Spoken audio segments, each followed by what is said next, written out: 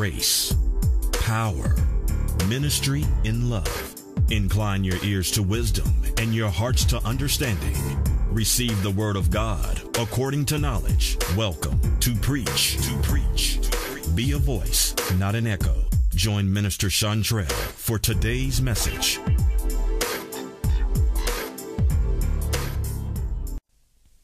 Good day, beloved. Thank you for joining me today on Preach. Be a voice, not an echo. I am Minister Davis, and I believe I have a powerful word from the Lord today um, with the message that He gave me. I mean, I know there's sermons and there's messages, and He's given me many, and I look to Him for guidance in this from day to day. And sometimes, you know, when you're studying the Word, those of you who teach and minister know what I'm speaking about. You're studying the Word, and you know in your heart that this is something He would have you deliver because of the urgency put in your spirit, and He lays it out with almost without any extra effort from you. And today, um, I'm going to first begin with prayer, um, as I always do. Heavenly Father, I thank you for today. I thank you that I'm alive for such a time as this. I thank you that you are ever watchful over us, Father. I thank you that you continue to minister to us and to feed us by your word and by your revelation day to day. Father, I thank you for this message today. I thank you that I have been empowered by your Holy Spirit to minister, to rightly divide the word of truth in love, Father.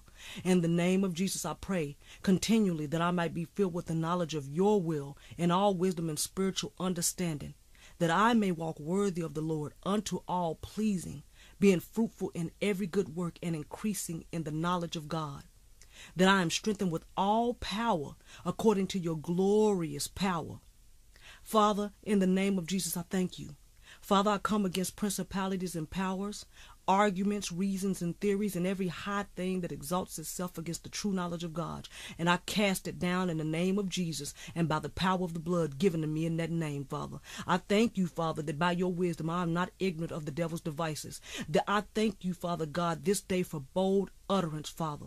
In the name of Jesus, by your word, Father, I contend for the faith in the name of Jesus. I thank you, Father God. I thank you for the power to do this. I do this from a position of victory and not for it, Father. I'm secure and I trust all that I am in Christ Jesus. Father, I come against those that would hinder those from hearing this word.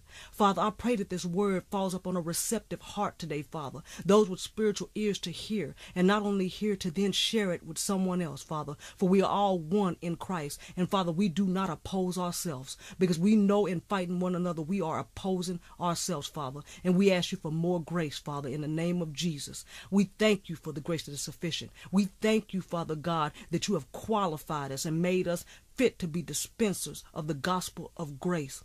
Father, I lift my voice to you today. I commit this ministry to you today, Father, trusting that you are able to keep all that I commit to you against today, Father. You are able. I trust you and I thank you once again. In the precious name of Jesus, Father, I pray. Amen. Today's message you know, the Lord has really ways of, of giving me messages that just speak. It's just the way he communicates them to me. And I understand that he does this differently for each person because we are all called in a different capacity, although we are vying for the same thing and the same purpose, which is to draw as many to God with his goodness as we can as this day is drawing near. The name of this message is called Filthy Dreamers. Subtitle, They Have Crept In Unawares. And this is referring to shepherds who feed only themselves. And when I first read this, I kind of was thinking in a particular way, but you know, the Holy Spirit has a way of giving you understanding. I'm going to go right into the scriptures right now. I'm going to begin with Jude. All of these scriptures come out of Jude. Um, and I'm going to begin, begin with this scripture just so that you know who you are from the get. The title I put above this one is Sanctified preserved, and called. And I'm going to read Jude, verse 1 and 2. Jude, the servant of the Lord Jesus Christ, and brother of James, to them that are sanctified by God the Father, and preserved in Jesus Christ, and called. Mercy unto you, and peace, and love be multiplied. This is who we are, and that's only a fraction of the heritage of the saints. You have been sanctified by are Father God and you have been preserved in Christ Jesus and you are called. I don't care what it is. You need to search for what your calling is because if you belong to Christ, you have a predestined ministry and purpose and you need to be seeking Him for what it is. Not for what you think it is. You need to know that you know that you know. You are where He would have you to be. As I've said before in previous messages, that's your ark when you are where he would have you to be when he would have you to be you are under the shelter of his wings because you are in his will we don't run outside of his will and to say lord protect me although he is merciful he, he has done it plenty of times and you and i'm pretty sure many listening can testify to that He's kept us when we wasn't anywhere near crying out for him. He kept us all the way before we were able to fall to our knees and receive the free gift and accept him. Okay, I'm going to move forth to Jude verse 1 through 4. For there are certain men crept in unawares, who were before of old ordained to this condemnation, ungodly men, turning the grace of God into lasciviousness, and denying the only Lord God and our Lord Jesus Christ. Oh Lord, there's so many ways to go with this, but I'm going to continue on and I'm a minister from my heart what the Lord has put in it you know, that so many people begin to go ways and seek their own paths and their ways of teaching and being and seek to have people follow them rather than minister the word of God as they follow Christ. We watch this go on. And as I move forward through this message, you're going to understand where he's taking us on this particular path and this, this message that he's given me today. And on the notes here, I put, you know, to understand that they turn from the grace of God. They put everything on works and how you act that day and if you failed that day. I want to say again, the blessings of the Lord, the Lord cannot bless disobedience and wickedness. But I can't go into this right now because I got other messages to tell you why the blessings of the Lord don't stop on that note on the children that are His, but they can be damned, bringing unto themselves damnation. He will He will not turn around and curse what He has blessed. But blessings can be damned by our behavior and by our rebellion and our disobedience. But okay, I'm gonna get back on course because that's a whole other message, you know, because so many people are, are being caused to fall uh, because of misunderstanding of that. But I'm gonna stay on course today. I'm gonna move to a section here. I call this section uh you know what? We're gonna go down here. I'm gonna go. I'm, I'm gonna go another way. These people that he speaks about that are filthy dreamers. I'm gonna go to this particular section first, and I'll go. I'll back up. Filthy Dreamers. I'm, I'm going to go, I'm going to try to keep this in a, a particular order here. I'm going to read Jude 1 8 through 10. Likewise, although these filthy dreamers defile the flesh, they despise dominion, and they speak evil of dignitaries.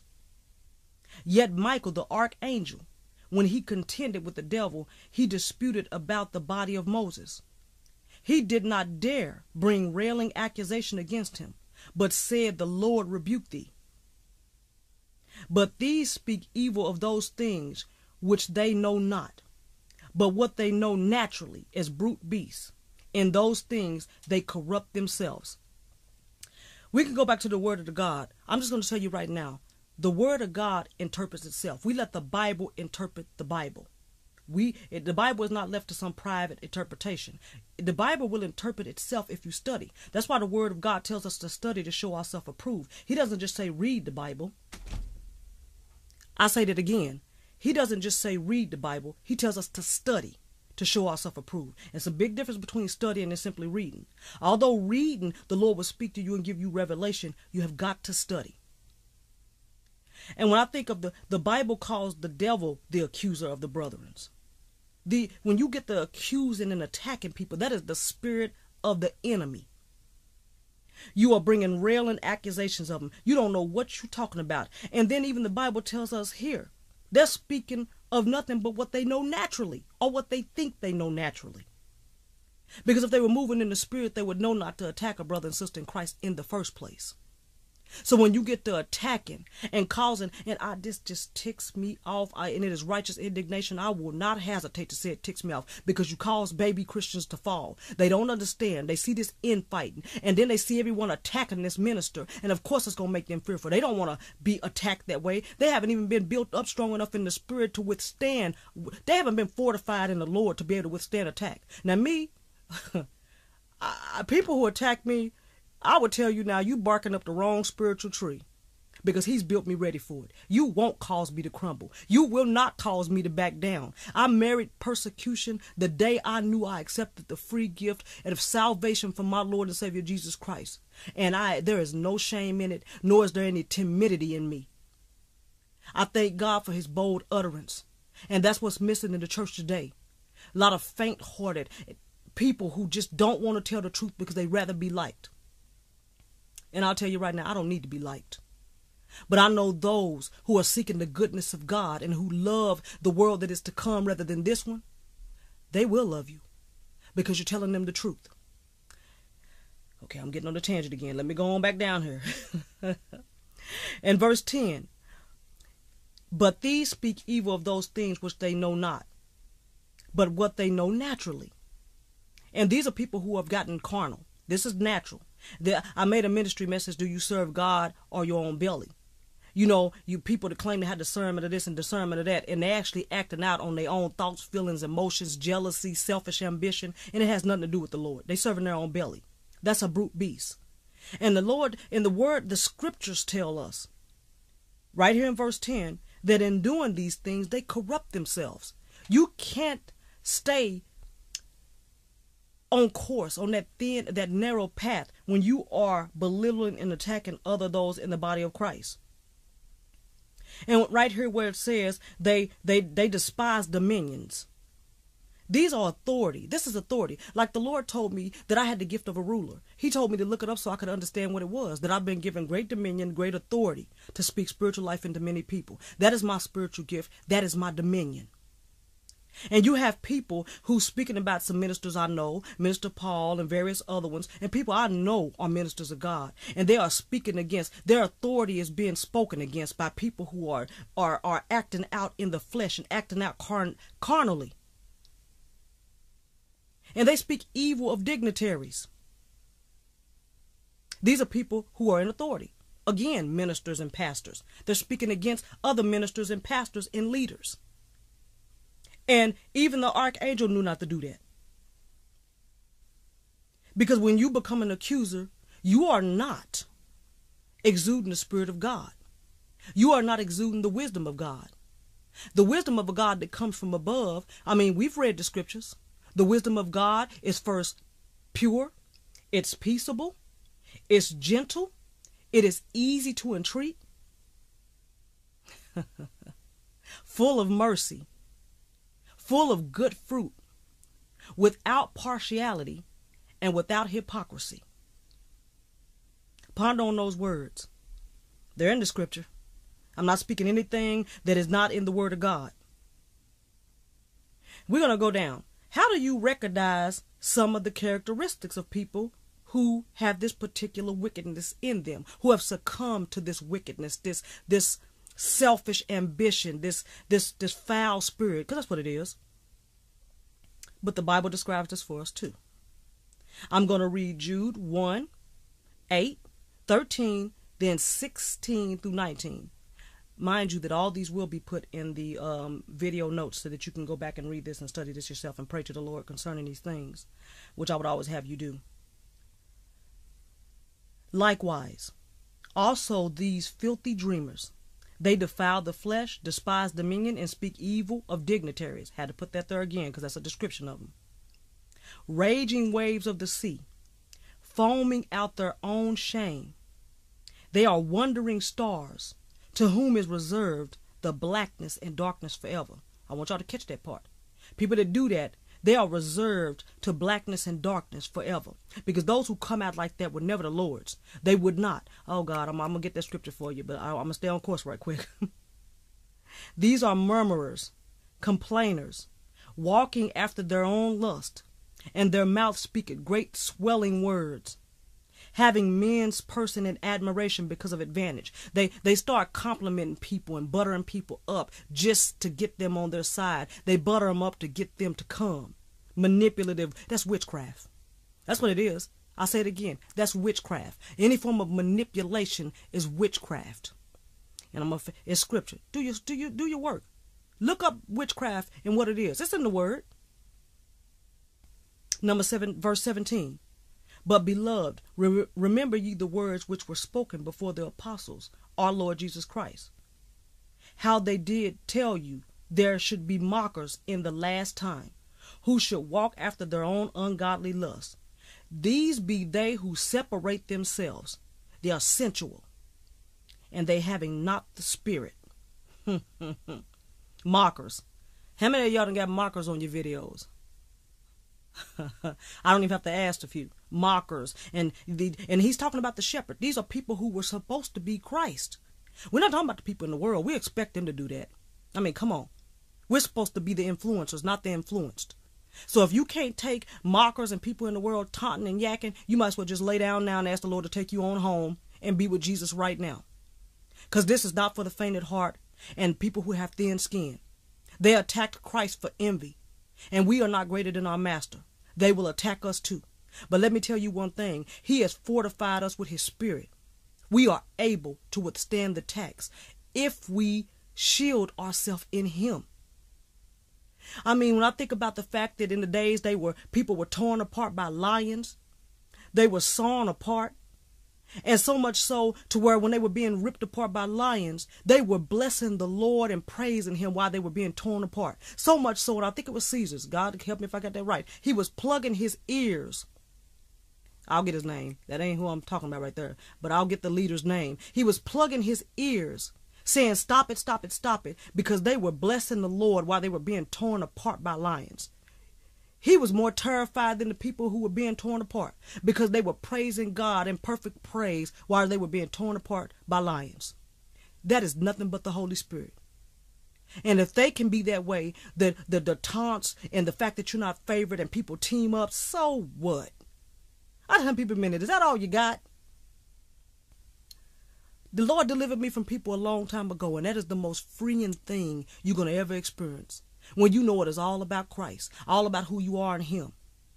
And it is not about what people call you, it's what you answer to. And you should only be answering to what the Lord calls you. The Lord calls you beloved. He calls you justified. He calls you redeemed. He calls you new. he calls you children of God. He calls you kings and priests. Glory to God. you answer to what He calls you, not what the world calls you. That's just a little spiritual nugget. You're gonna have to. I'm trying to stay on track here because the spirit get to taking over, and we'll have a revival in here in this studio. Glory to God. Let me go on down here. Okay, back to markers. That's where I left off. That we we know that we have markers nowadays. We have murmurers. We go that again. People who are murmuring. You hear people complaining. They're walking by their own lust. They're doing what they feel. They're putting twists on the scriptures so they can do what they want to do. They defile the flesh. They despise dominion. They hate people in authority. They only want to do what people in authority would have them to do. And they come against you if they see you with followers and they see that you got a follower. And people need to understand that it's never about them following us, they're following Christ. That's why some people have lure. But everybody that has lure ain't of God. They got some mega churches that I know are the synagogue of Satan. And those people will be revealed. I don't have to name. The Lord will bring it to naught. Let's move forth. Okay, I want to make sure I don't miss here. Let me go back up here because I said the judgment. I want to do that last. Warning, remembrance, and turning from what it's going to bring. And the judgment. Mm-hmm. We're going to go back up at the top of this first. The Lord warns us of these things. And we have to be aware because the Bible told us that they have crept in. These are people that are in the churches right now. People who smile in your face. People who act like they're your friend. They have crept in unaware. They're around you right now. And I believe that's why this was put on my heart so urgency. It hit so hard. I had originally came in here planning to record another message today, but this one took precedent. And that's what matters. A warning, remembrance, and turning from the ways of God. What this is going to bring. I'm going to read Jude 1 5 through 7. I would therefore put you in remembrance, though ye once knew this, how that the Lord, having saved the people out of the land of Egypt, afterwards destroyed them that believe not. You got to believe at all times. Don't allow anything to rob you of your belief. Number six, and the ages, and the I mean, and the angels which kept not their first estate, but left their own habitation, he hath reserved in everlasting chains under darkness unto judgment of the great day. Verse seven, even Sodom and Gomorrah and the cities about them in like manner, giving themselves over to fornication and going after strange flesh. We know what strange flesh is homosexuality. People don't like that, but that's what he's talking about, and we're going to keep it real. Or shall I say, I like to keep it truth. that's the truth. He's speaking about homosexuality. Going after strange flesh are set forth an example. He set them as an example.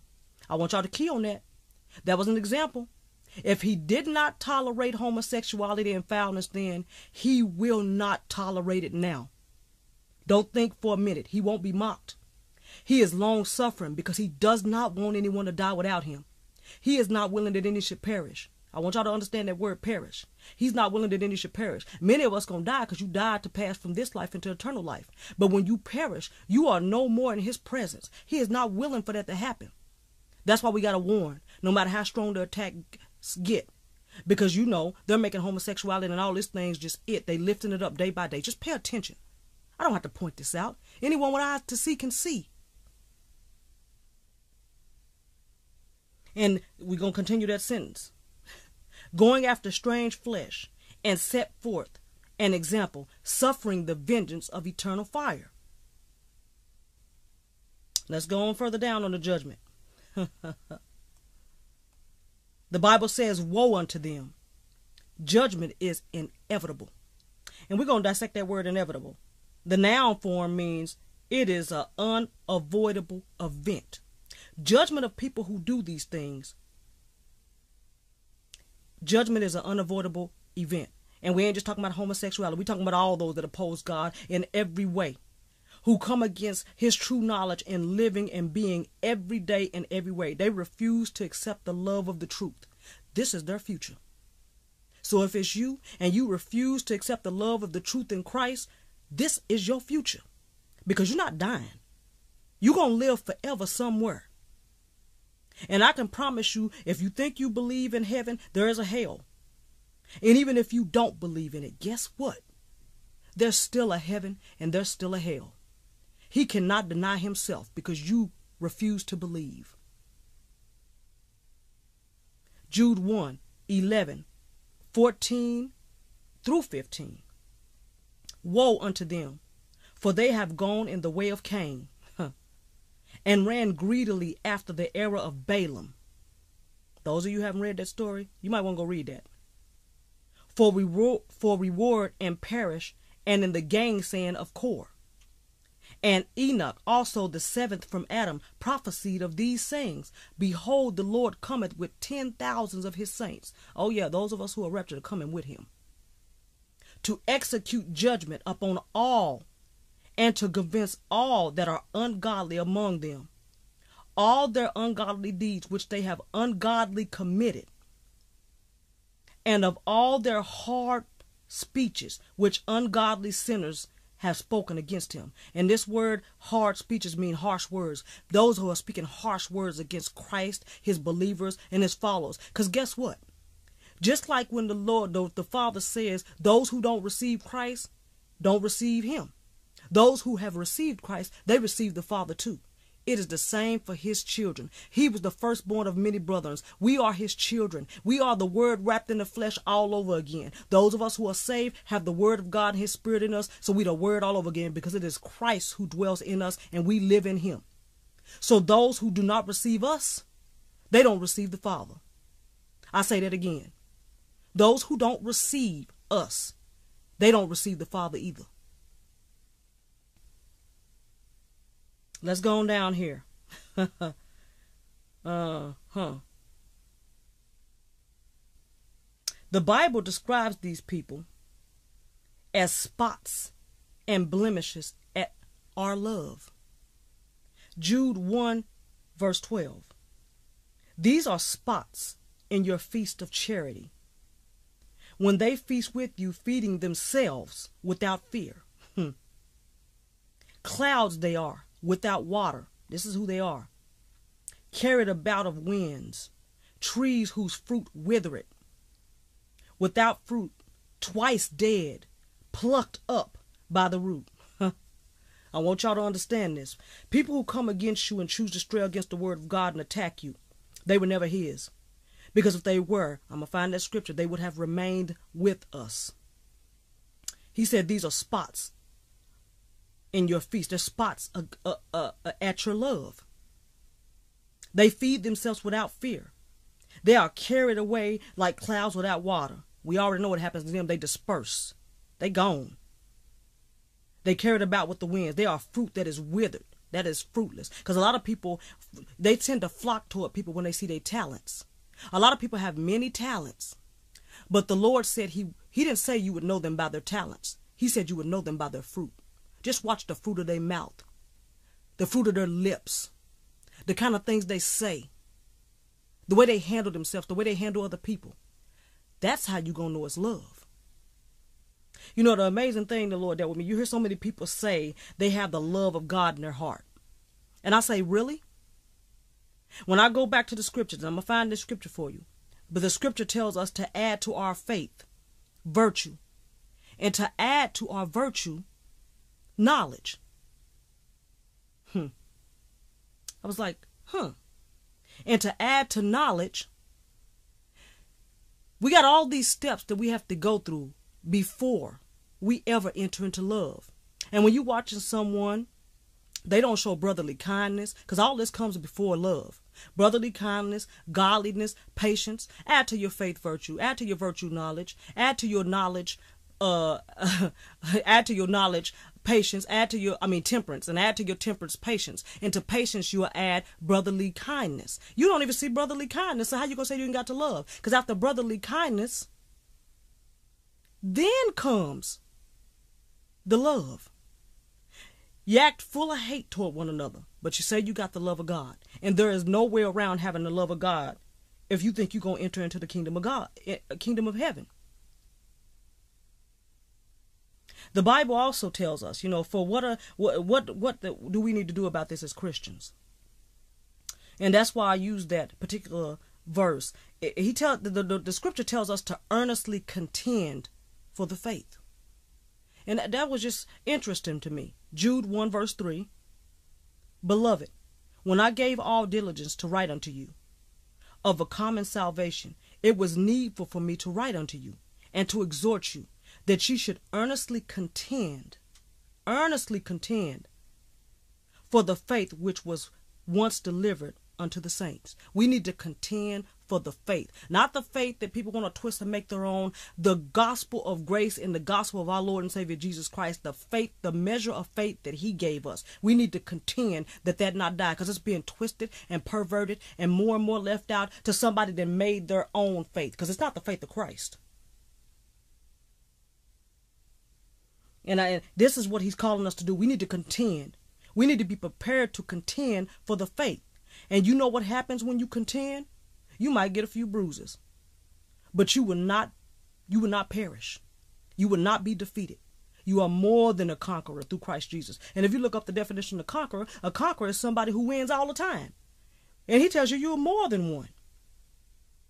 Let's move forth to Jude 1 20 through 21. And this is a call, a call to action. And that call is to persevere. We are calling the body of Christ to persevere. Verse 20 reads, But ye, beloved, building up yourself on your most holy faith. How do you do that? By praying in the Holy Ghost. And I'm going to stop there just for a second. and I'm going to say again because I feel I need to by the Spirit.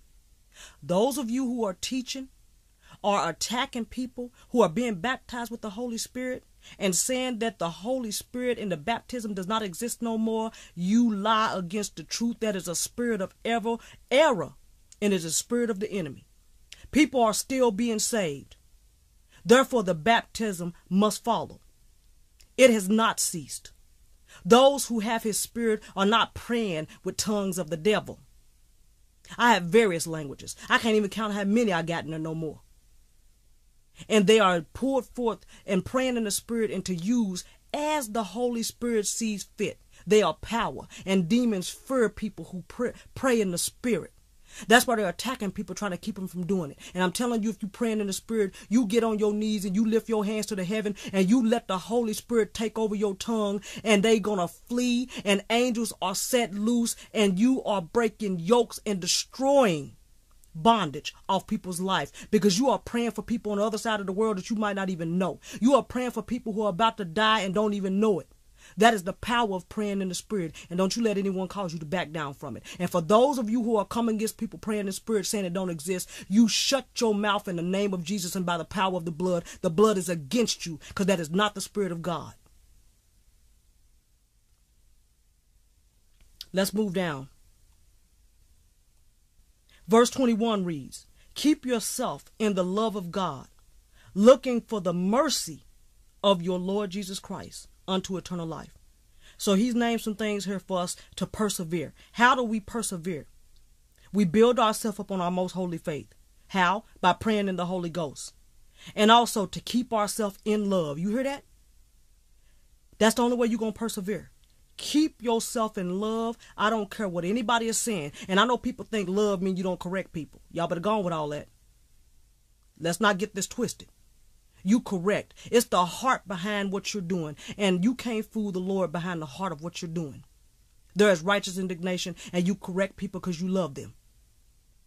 You don't do it trying to cause them to fall and trying to call it godly correction. You're not fooling nobody. The Lord see your heart, and guess who else see your true spiritual state? The demons you working with. So stop the attacks and calling it the love of God. And he tells us to do it looking for mercy. We know that's new to us every day. His mercy is new to us every day. Hang on to that. Don't let it go and never allow fear to enter. The scripture also, we are instructed. This is Jude verse 1, 22 through 23. And some of us, we are to have compassion, making a difference.